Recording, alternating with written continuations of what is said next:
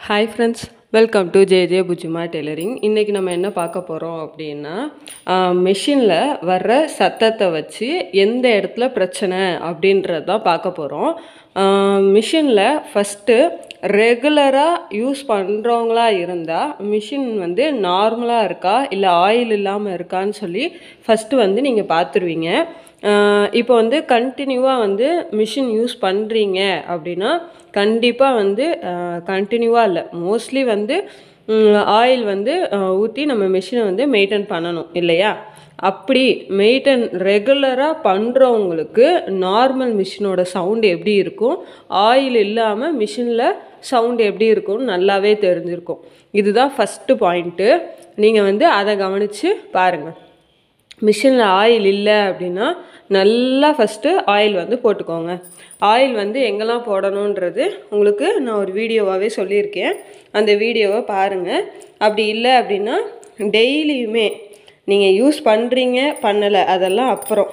ஓகேவா ஆனால் நீங்கள் வந்து ஆயில் வந்து ஒவ்வொரு ஹோல்லையுமே வந்து த்ரீ ட்ராப்ஸ் வந்து போதும். ஓகேங்களா?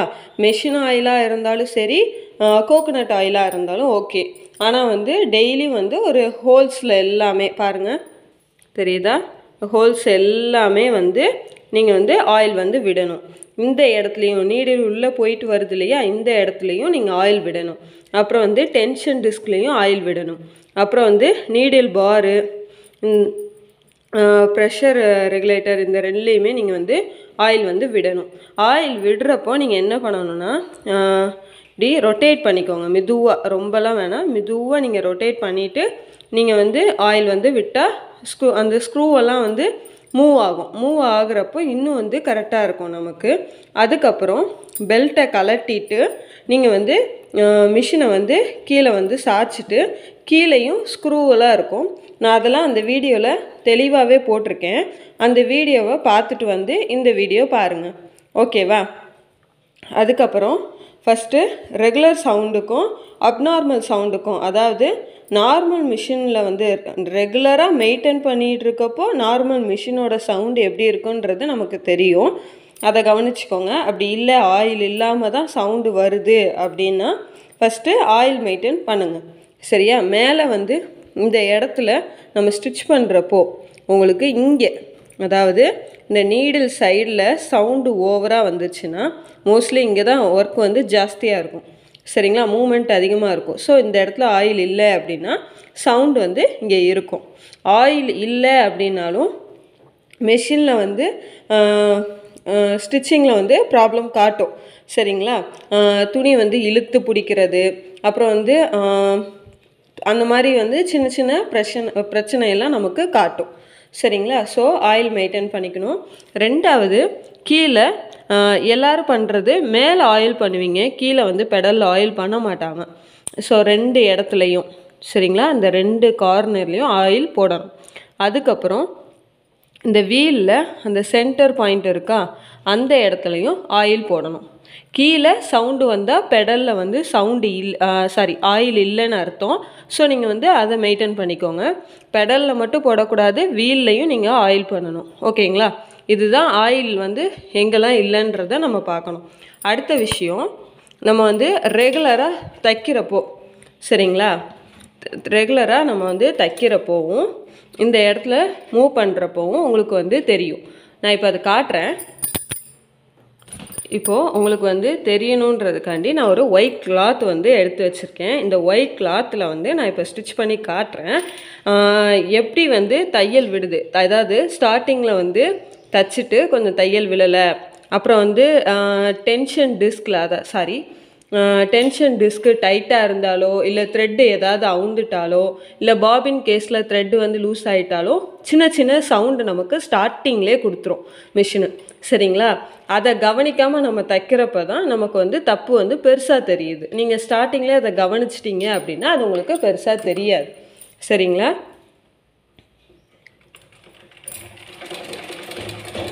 இப்போ இது நார்மலாக தைக்குது. சரிங்களா உங்களுக்கு நார்மலாக நான் வந்து தைச்சிட்டு இப்போ வந்து நார்மலாக நான் தைச்சி எடுத்துட்டேன். சரிங்களா? தெரியுதா? இப்போ நான் வந்து நார்மல் தையல் வந்து போட்டிருக்கேன். சரிங்களா? இப்போ நெக்ஸ்ட்டு நான் தச்சுக்கிட்டு இருக்கிறப்பவே இந்த த்ரெட்டை வந்து கட் பண்ணி விடுறேன். கட் பண்ணுறப்போ இந்த இடத்துல என்ன நடக்குன்னு பார்க்கலாம்.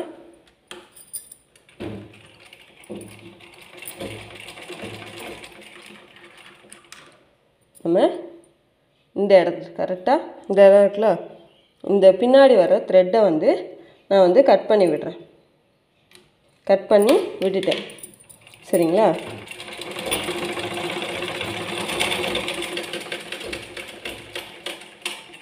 தெரியுதா? உங்களுக்கு த்ரெட்டு கட் ஆயிடுச்சு அதாவது நீடு இல்லை த்ரெட்டு இல்லை அப்படின்னாவே மிஷின் வந்து சவுண்டு கொடுத்துரும். சரிங்களா? அதை கவனிக்காமல் நம்ம தைக்கிறது னால என்னென்ன பிரச்சனைன்னு பாருங்கள் துணி வந்து சுருங்கிருச்சு. ஃபஸ்ட்டு சரிங்களா? துணி சுருங்கிருச்சு. இப்போ நம்ம நீடில் தூக்கிட்டு பார்க்குறப்போ கீழே வந்து கொத்து தையல் விழுந்துடும் சரிங்களா? மிஷின் த்ரெட்டு கட் ஆயிடுச்சுனாவே சவுண்டு கொடுத்துருச்சு மிஷினு. நம்ம நிப்பாட்டிட்டோம். நிப்பாட்டுறதுக்கே நமக்கு என்ன பிரச்சனை பாருங்கள் தெரியுதா? த்ரெட்டை கட் பண்ணிவிட்டு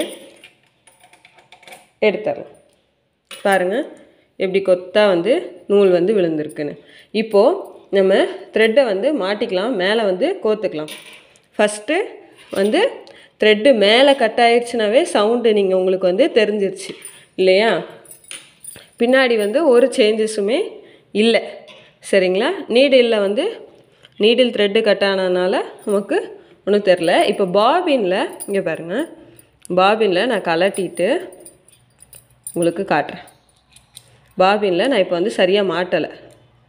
சரிங்களா? சரியாக மாட்டாமல் உங்களுக்கு தச்சு காட்டுறேன். அதில் என்ன பிரச்சனை வருது? அதில் என்ன சவுண்டு வருது? அப்படின்னு. இப்போ பாருங்கள் பாபினில் வந்து நான் வந்து த்ரெட்டு வந்து ஒழுங்காக மாட்டலை. அந்த கம்பியிலேருந்து வெளியில் எ எடுக்கலை. இன்னும் அந்த கம்பிக்கு இடையில இந்த இடத்துல தான் இருக்குது இப்போ இதனால் நமக்கு என்ன சவுண்டு வருதுன்றத பார்த்துக்கலாம் இப்போது மேலே வந்து த்ரெட்டு கட் ஆகிருக்கு இல்லையா? இதை நம்ம வந்து கோர்த்து விட்டுறலாம். சரிங்களா? கோர்த்துட்டு நான் உங்களுக்கு காட்டுறேன். இப்போ வந்து த்ரெட்டு வந்து நான் கோர்த்துட்டேன். இப்போ கீழேருந்து த்ரெட்டு வந்து எடுத்துக்கலாம். எடுத்துட்டு இப்போ வந்து நம்ம ஒரு தையல் போடலாம். சரிங்களா?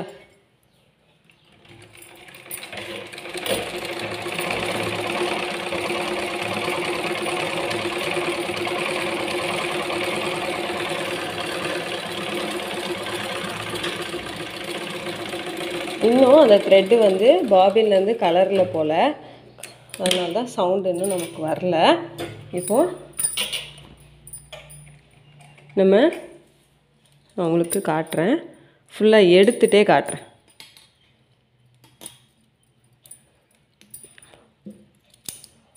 சரிங்களா?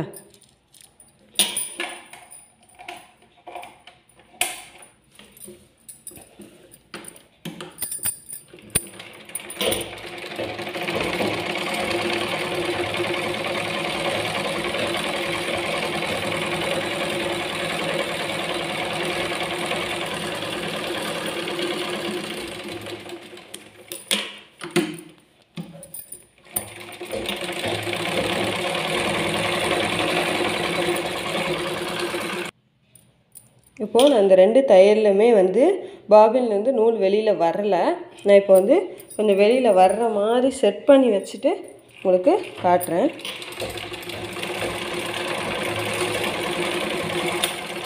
தெரிஞ்சிச்சா? சவுண்டு ஒன்று கேட்குதா மிஷினில் சவுண்டு வந்துருச்சு.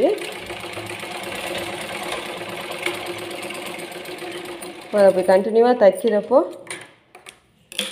நம்ம தெரியுதா உங்களுக்கு? எந்த இடத்துல நம்ம சவுண்டை கவனிக்கலையோ அந்த இடத்துல இருந்து தையல் வந்து இப்படி தான் விழும். சரிங்களா? ஸோ அவ்வளோதான் நான் சொல்ல வந்தது. மிஷினில் வந்து ஆயில் இருக்கிறதுக்கும் ஆயில் இல்லாததுக்கும் சவுண்டு டிஃப்ரெண்ட்டு தெரியும். அப்படி ஆயில் மெயின்டைன் ரெகுலராக பண்ணுறவங்க மிஷின் சவுண்டை நல்லா கவனித்து பாருங்கள் இந்த இடத்துல எந்தெந்த இடத்துல சவுண்டு வருதோ அந்த இடத்துல வந்து ஆயில் பத்தலைன்றதை ஃபஸ்ட்டு நோட் பண்ணிக்கோங்க. இன்னொன்று மிஷினில் வந்து நீடில் வந்து சரியில்லைனாலும் டென்ஷன் டிஸ்க்கு வந்து லூஸாக இருந்தாலும் மேலே வந்து நீடில் ஸ்டார்டிங்லேயே வந்து சவுண்டு கொடுக்கும். சரிங்களா? பாபின் கேஸில் லூஸாக இருந்துச்சு அப்படின்னாலும் அந்த இடத்துல சவுண்டு வரும். இந்த மாதிரி சின்ன சின்ன இடத்த நீங்கள் கவனித்து பண்ணிங்கனாவே நீங்கள் கடைக்கெல்லாம் போக வேண்டிய அவசியமே இருக்காது. அவ்வளோதான் நான் சொல்ல வந்தது இதுதான். சவுண்டை கவனித்து பாருங்கள் இந்த வீடியோ வந்து உங்களுக்கு பிடிச்சிருக்கும் நான் நம்புகிறேன் இந்த வீடியோ உங்களுக்கு பிடிச்சிருந்துச்சுன்னா லைக் பண்ணுங்கள் ஷேர் பண்ணுங்கள் கமெண்ட் பண்ணுங்கள் மறக்காமல் ஜே ஜே புஜிமா டெய்லரிங்கை சப்ஸ்கிரைப் பண்ணுங்கள் பக்கத்தில் இருக்க பெல் ஐக்கானை கிளிக் பண்ணுங்கள் தேங்க்யூ